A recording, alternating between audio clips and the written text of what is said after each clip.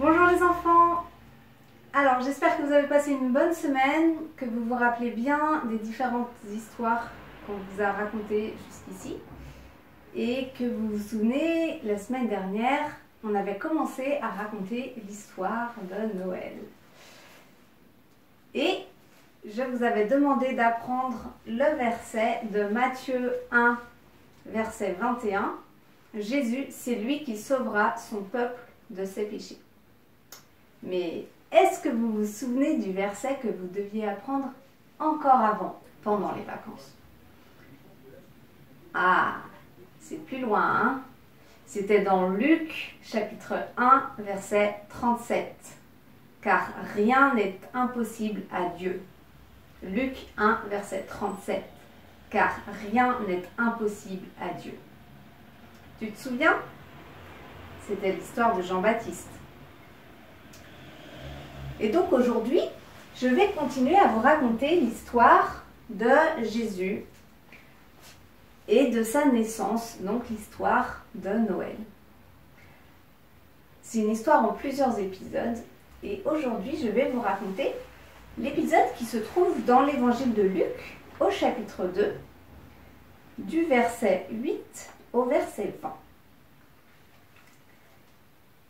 Et pour changer un petit peu, au lieu de vous raconter juste l'histoire, je vais vous montrer un petit film que j'ai fait avec le sketch qu'on avait fait l'année dernière sur cette même histoire des bergers pour la fête de Noël.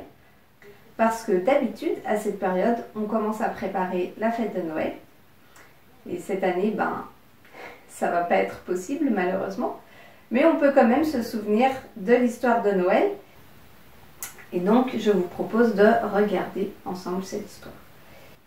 Jésus est né à Bethléem, dans une étable, dans une crèche, et la Bible dit que non loin de là, il y avait des bergers qui passaient dans les champs les veilles de la nuit pour garder leurs troupeaux.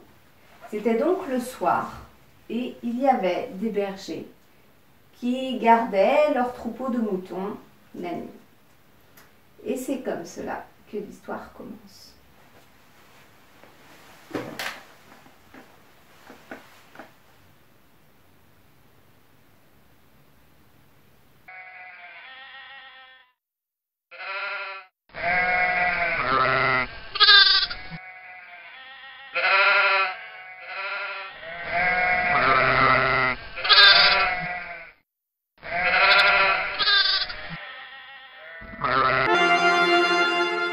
Quelle grande lumière J'ai peur Que se passe-t-il? Moi aussi, j'ai peur Ne craignez point, car je vous annonce une bonne nouvelle. Aujourd'hui, dans la ville de David, il vous est né un Sauveur qui est le Christ, le Seigneur. Et voici à quel signe vous le reconnaîtrez. Vous trouverez un enfant emmailloté et couché dans une crèche.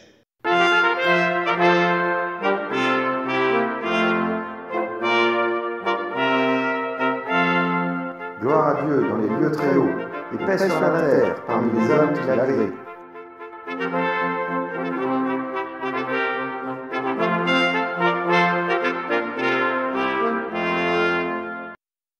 La ville de David C'est chez nous, ça Oui, allons vite à Bethléem.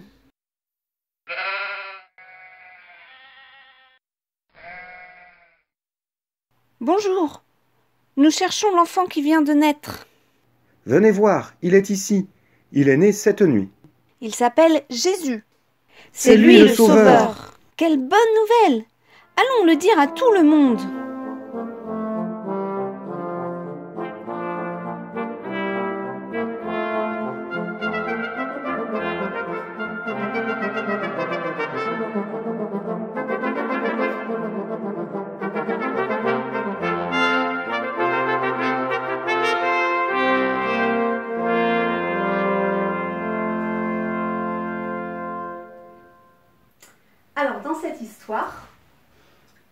Plusieurs choses. Déjà, on voit que Dieu parle à des bergers. Des bergers, c'est des gens pas très importants. Sûrement les gens, ils s'y intéressaient pas trop. C'était des gens pauvres qui avaient sûrement peu d'instruction. Et Dieu, bah, c'est à eux que Dieu va parler. Dieu, il va s'intéresser à tous les hommes, même à ceux qui sont pas très importants, qui sont pas des chefs, qui sont pas riches. Dieu, il s'intéresse à tous les hommes sur la terre. C'est la première chose qu'on peut retenir. La deuxième chose, c'est que ces bergers, non seulement Dieu leur parle, mais Dieu leur montre sa gloire. Ils voient une armée d'anges qui chantent la gloire de Dieu. À ce moment-là, Dieu, il montre à quel point il est grand, il est puissant.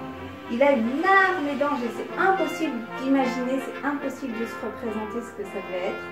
Mais les bergers, ils ont vu ça. Ils ont vu des anges qui chantaient la gloire de Dieu. La troisième chose, c'est que les bergers, ils n'ont pas seulement vu et entendu l'ange, ils ont écouté et ils ont voulu aller voir de leurs propres yeux si ce que l'ange avait dit était vrai.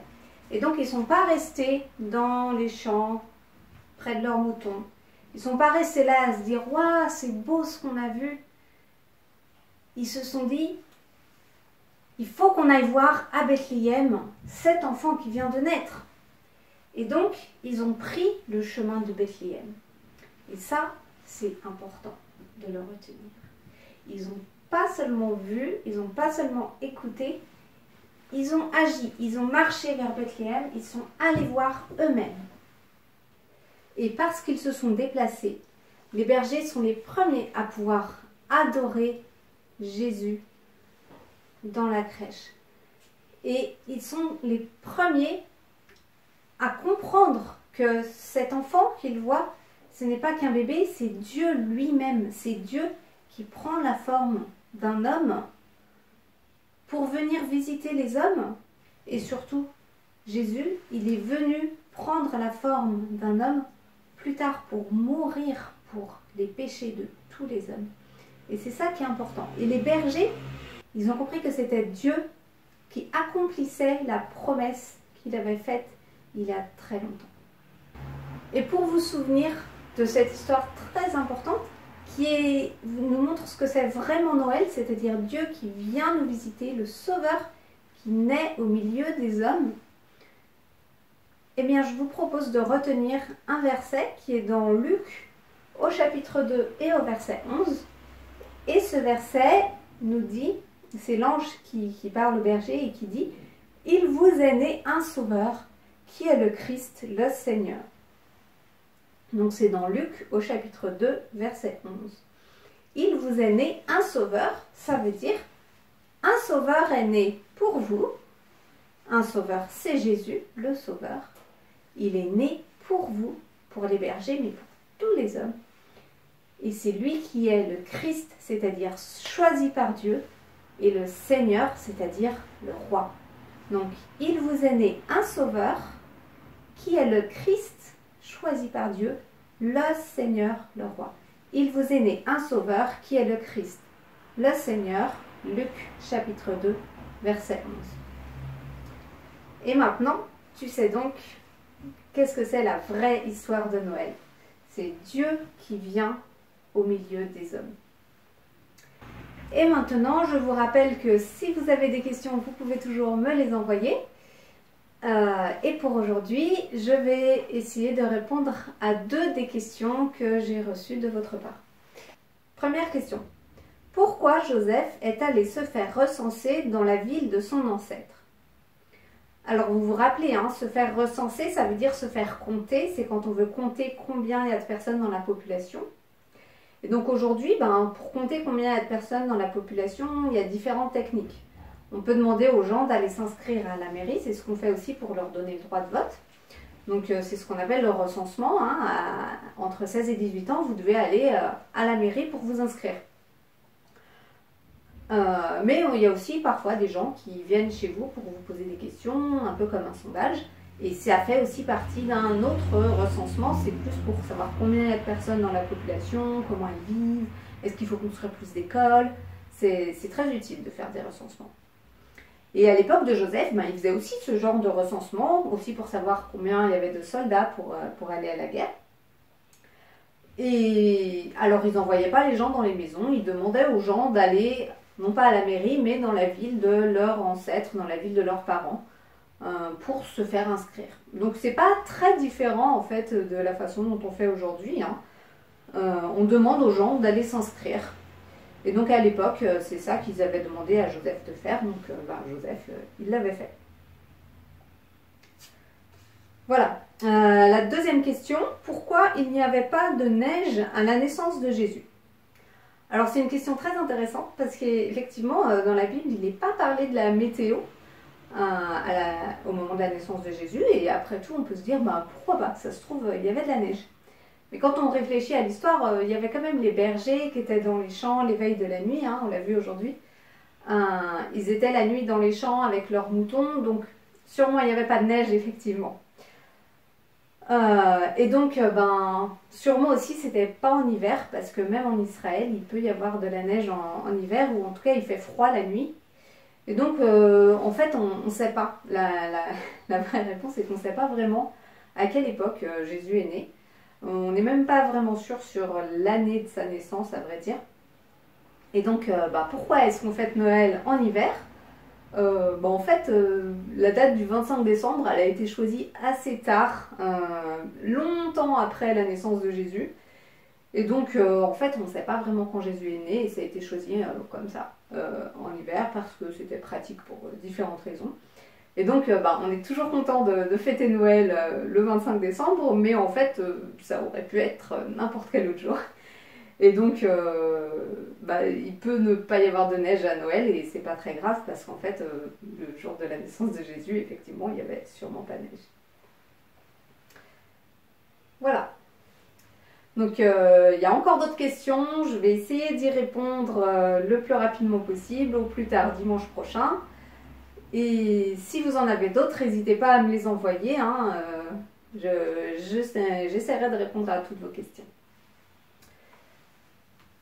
Et voilà, le moment est venu de nous quitter. J'espère que vous avez bien suivi cette histoire, que vous allez vous en souvenir de qu'est-ce que ça veut dire Noël et pourquoi Jésus est venu sur la terre. Et ben, je vous souhaite une bonne semaine, j'espère que vous allez bien travailler à l'école. Et surtout, n'oubliez pas d'apprendre le verset. Vous vous rappelez, hein, il vous est né un sauveur qui est le Christ, le Seigneur. Luc chapitre 2, verset 11. Au revoir, à bientôt.